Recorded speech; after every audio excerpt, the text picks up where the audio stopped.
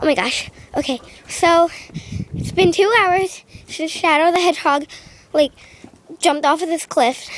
I'm gonna show you guys one more time. It's one huge cliff. Um, I spent those two hours just getting his body up from the cliff. Um, and um, some of you might want to look away, but here he is. That is Shadow the Hedgehog. um, so it's kind of really bad because I don't know what I'm going to tell my mom, but let's just see what my little brother thinks of him. Do you have anything to say about Shadow the Hedgehog? yes, yes, I do. Okay, That he he can't take this Was a mother loving.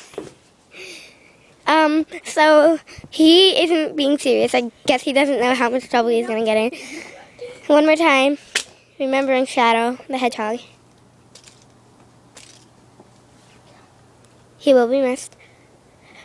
Um, are there any last words that you would like to say to Shadow before he meets his grave?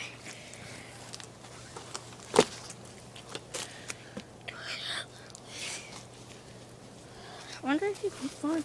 Oh, okay. He is not taking it seriously. I don't know. Wait a minute.